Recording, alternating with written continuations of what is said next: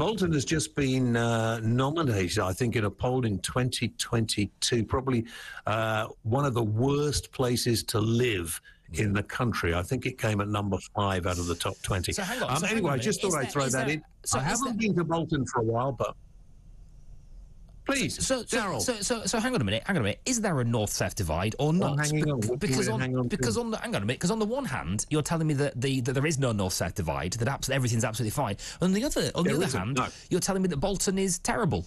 So which is it to be? Make your mind up. Oh yeah. No, no. Uh, well, both really. I mean, there are terrible Both places in the south, terrible places in the north. Both of those things. It just happened. I was talking to a caller. Uh, what do you want to talk about? Do you want to defend your hometown? Well, was- I it's was- not going to become a city. It's never going to become a city. I noticed you put out on. Close your mouth. You look ridiculous sitting there with your mouth open.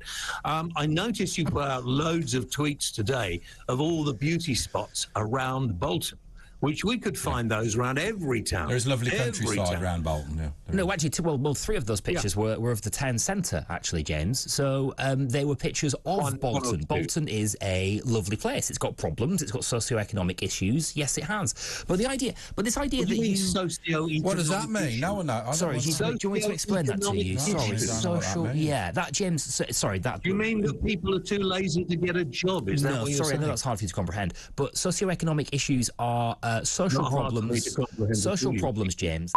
Economic problems, right? They are things that lead Yeah. into people Why? having experiencing poverty. Why? Or, well, a, a whole- Why? People Why? have poverty in the south as well. They but do. why do why do they have problems?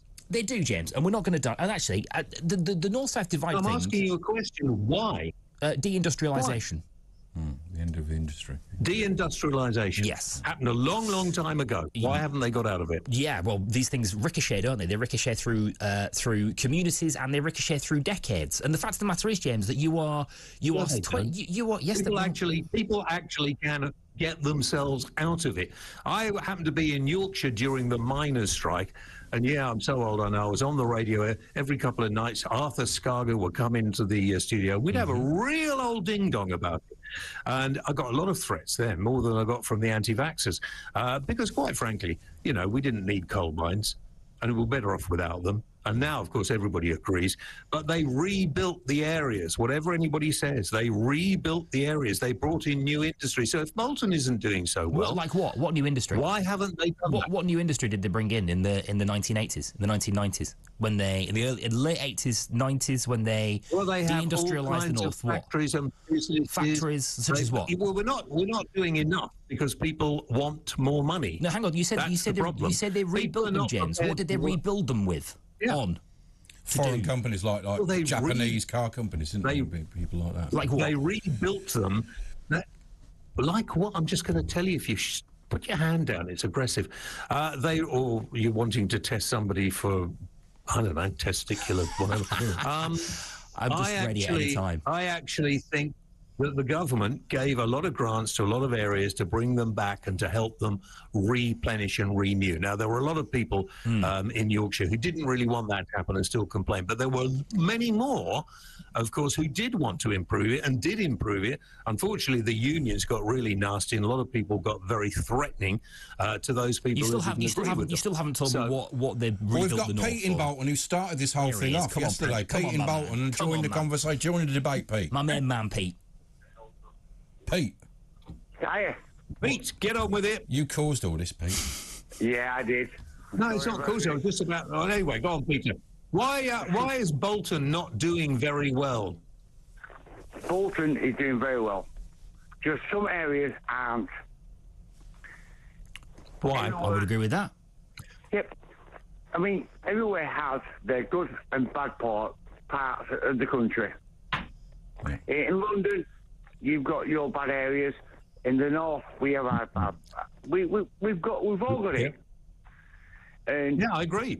There's no difference between poverty in the north or the south. Well, there, there literally, really there, isn't. there literally is a difference between poverty in the north and the south. You are 20 times more likely to die young. Uh, I've got the receipts. I've got the facts. I'll just fire the Well, facts that's at you, 'cause of the bad diet. You're, you're 20% more likely to die uh, in the north of England. Uh, the first few the years of austerity, northern cities and boroughs were 120 to uh, 150 to 200 pound per head worse off uh, than the than the west, the southwest, and the uh, the south of England. The south of England receives six times more per person for transport costs. costs than the north of England. Unemployment rates are higher, wages are lower. Deindustrialisation that we've talked about have left job opportunities thinner on the ground.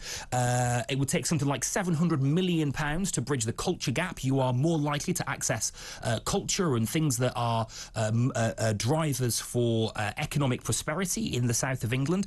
And, and let me give you this: this is the table, right, of the poorest and the richest places in northern Europe. A table of the the richest and the poorest places Carol, in northern Europe. The po- the po- Hang on, hang on, hang on. All right, calm down, calm me- down. You're on the air in a minute. Let me tell you this, let me Pete. tell you no, this. shut up and listen to West Midlands, No, no, listen to Cornwall, Pete. Durham, and Tees Valley, yeah. Lincolnshire, South Yorkshire, fine. Shropshire and Staffordshire, uh, Lancashire, Northern Ireland, You're just East Yorkshire and North Yorkshire. A whole list of names. Nobody's listening. Shut up and listen there's to one Pete. in Belgium, Pete, the rest him. are in the north of England. Cut his microphone off and let Pete talk. If I get a word in. Go on, Pete. Yeah, go on. Right. Okay. Bolton has got some really, really historic places. Beautiful. Right. It's beautiful, Carl. Beautiful places. Right. Darryl will know. We've got Hall i' th' Wood, Rivington Pike, beautiful places. We have some bad places. I won't disagree with that. Uh, I'm assuming that London has got the same. And Kent, James. And Kent. Mm-hmm. You have some good places as well. But to say last I night, name quite a few. Yep, and to say last night that Bolton was the scuffiest place that you've ever been to, I think was bang out of order. I agree. Yeah, well said, Pete. Well said. Well, you can think what you like, but it, you know, uh, I I think you're it was a pretty scruffy place when I went. Ash, I bet you've been to some really scummy places in your past. Oh, yeah, yeah. I've been to all of them. right? Tell us one I bet you've scruffier also place in Bolton, actually. Beautiful places. Merthyr Tydfil.